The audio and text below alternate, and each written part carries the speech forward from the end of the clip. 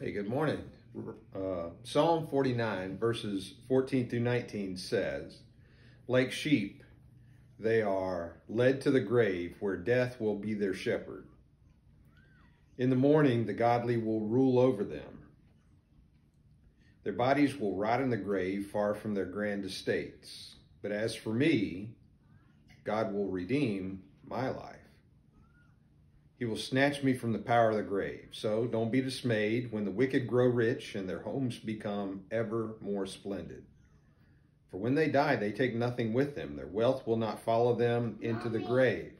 Mommy. In this life, they consider themselves fortunate and are applauded for their successes.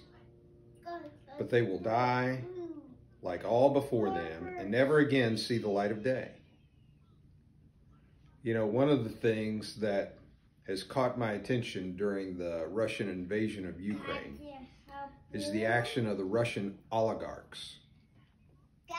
These are men who have profited off of the collapse of the state-controlled Russian infrastructure back in the 1990s and beyond.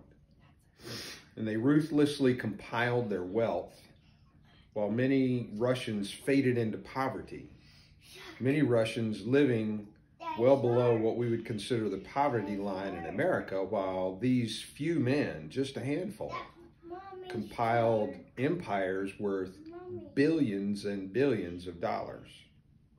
And all of these men aligned themselves with Putin to retain their power and their influence. You know, since the invasion of Ukraine, they have all refrained from condemning Russia's attack, probably for fear of reprisal from their leader. However, the world hasn't been shy about acting against them since they have been so influential in Russia's policies and politics. EU nations and the U.S. have ordered the seizure of any funds, lands, or other assets, yachts, things like that, that are kept within the boundaries of these nations.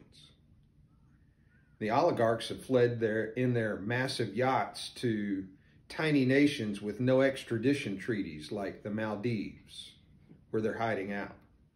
They've attempted to distance themselves from the ongoing conflict without condemning it publicly. But they've missed one key point, and it comes from this passage out of Psalm 49. They've missed this fact. They will all Mommy. die. Just like every Ukrainian, every, every Ukrainian man, woman, grandfather, grandmother, child, just like they've lost their lives, those that have died, every single one of those Russian oligarchs will die. Their wealth may help them flee temporarily, but it cannot protect them from their day of judgment, which is coming. The only thing that can protect us from our day of judgment that's coming is a relationship, a life-changing relationship with Jesus Christ. It's a day that we will all face and will answer for every thoughtless word or deed. Pray with me. Lord, I ask that you would remind me of the fleeting nature of life and to take seriously the time that I have here, the time that you have given me to serve you faithfully.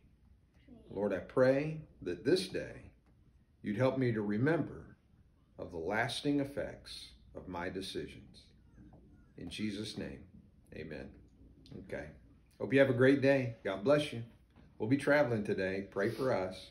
Pray for the church. Harry Bowman, who's preaching today. We'll see you again soon. God bless you.